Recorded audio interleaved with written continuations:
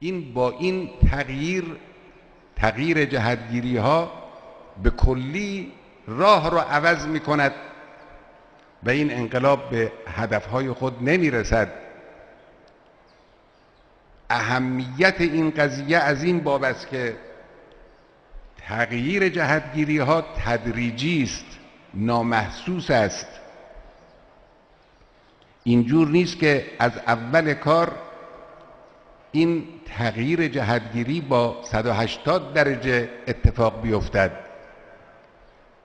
اول با زاویه های خیلی کوچکتر این تغییر شروع می شود هرچه ادامه پیدا می کند فاصله راه اصلی که سرات مستقیم است با این انحراف روز به روز بیشتر می شود انسان خود رو در خط امام بدانه. دنبال رو امام بدانه. اما با کسانی که صریحا پرچم معارضه با امام و اسلام رو بلند می‌کنن انسان خودش رو در یک جبهه تعریف کنه با اونها. نمیشه این. نمیشه قبول کرد که آمریکا و انگلیس و سیا و موساد و سلطنت طلب و منافق بر روی یک محوری توافق کنن حول یه محوری جمع بشون. بعد اون محور باز ادعا کنه که من خط امامم. این نمیشه این قابل قبول نیست. در حالی که با اونها هم باز دشمنی شخصی نداشت. شما ملاحظه کنید به وصیت‌نامه امام. امام در همین وصیت‌نامه خطاب می‌کند به کمونیست هایی که در داخل جنایت کرده بودند و به خارج کشور گریخته بودند. لحن امام رو ملاحظه کنید به اینها میگه شما بیایید داخل کشور و مجازاتی را که قانون برای شما می‌گذارد و عدالت می‌گذارد این مجازات رو تحمل کنید. مجازات بشید.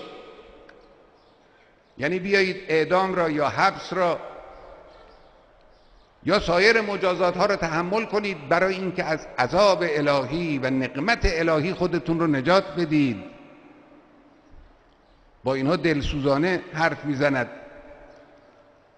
اگر میفرماید اگر شهامت این را هم ندارید که بیایید مجازات خودتون رو قبول بکنید لاقل اونجا که هستید راهتون را عوض کنید توبه کنید.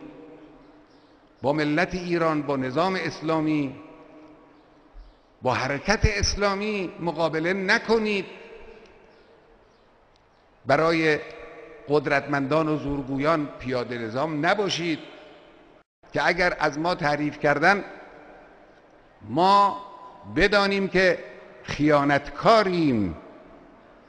خیلی مهمه این. اون کسانی که بیان درست خط مقابل امام حرکت بکنن. درباره مسئله قدس در روز قدس اونجور موضع گیری کنن. در روز آشورا اون فضاحت رو به بار بیارن. بعد ما در مقابل این کسانی که با اساس مبنای امام و حرکت امام صریحا مخالفن اظهار همراهی بکنیم. خودمون در کنار اینها قرار بدیم و تعریف بکنیم. یا در مقابل اینها سکوت کنیم. در این حال بگیم ما دنباله رو به امامیم. این امکان نداره. یک نکته اساسی دیگر در مورد خط امام به راه امام این است که امام بارها فرمود قضاوت در مورد اشخاص باید با معیار حال کنونی اشخاص باشد. گذشته اشخاص مورد توجه نیست. گذشته مال اون وقتی است که حال فعلی معلوم نباشد. انسان با اون گذشته تمسک بکنه بگه خب قبلا اینجوری بوده حالا هم لابد همون جوره. اما اگر حال فعلی اشخاص در نقطه مقابل اون گذشته بود اون گذشته دیگه کارایی ندارد. امام ملاکش این بود معیارش این بود. بعضی ها با امام از پاریس تو هواپیما بودن و آمدن ایران. در زمان امام به خاطر خیانت اعدام شدن.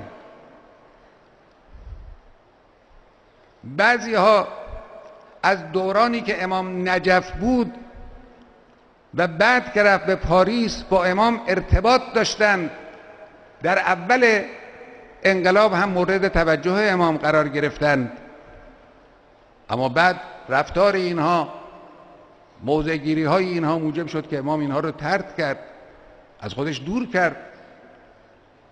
میزان وضعی است که امروز بنده دارم.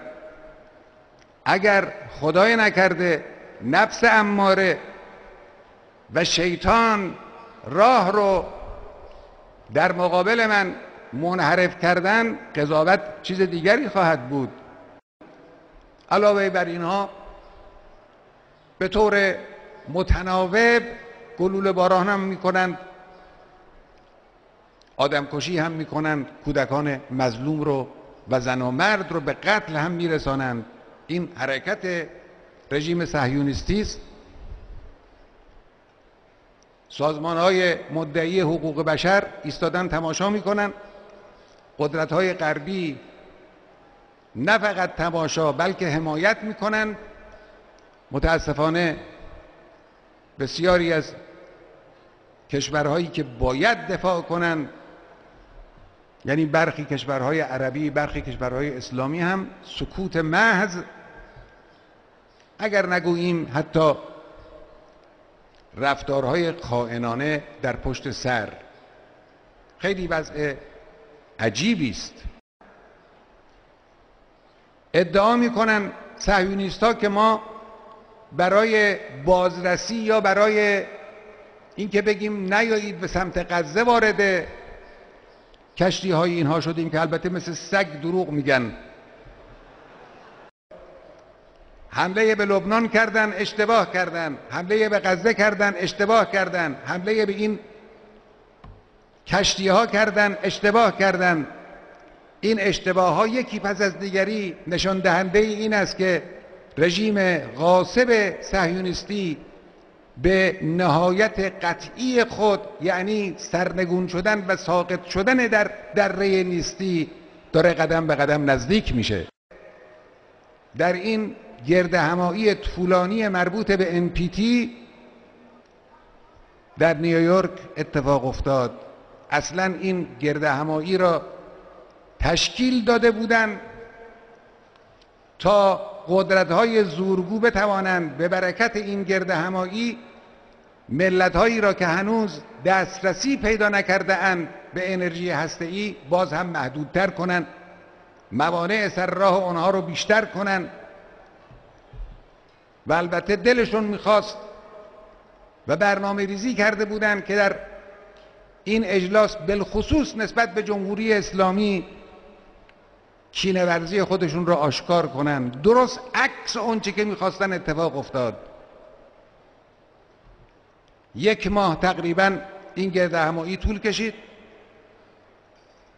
به جای اینکه اونها بتوانند مقاصد خودشون را پیش ببرند و کشورهایی مثل جمهوری اسلامی رو محدود کنند نتیجه ای که از این کنفرانس طولانی به دست آمد این بود که قدرت ها موظف شدند به وسیله 189 کشور که سلاحهای خودشون را سلاحهای هسته‌ای رو نابود کنند.